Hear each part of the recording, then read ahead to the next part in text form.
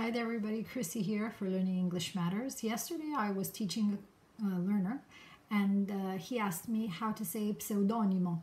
So, a person who writes um, a book, an author that writes a book with uh, another name and not his given name. And so we explored the various possibilities and we came up with um, two words that can be ambiguous or two expressions that can be ambiguous. One is a pen name, and that is the name someone uses when writing a book and does not want to use their own given name. And the other word that came about was ghostwriter. So, a ghostwriter is a person who writes for another person. Um, and so, I thought I'd share that with you today. Have a wonderful day. Bye bye.